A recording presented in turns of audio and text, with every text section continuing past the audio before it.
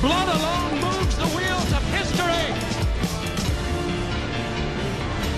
Have you ever asked yourself in an hour of meditation, which everyone finds during the day, how long we have been striving for greatness? Not only the years we've been at war, the war of work, but from the moment, as a child, when we realized that the world could be conquered. It has been a lifetime struggle, a never ending fight, I say to you, and you will understand that it is a privilege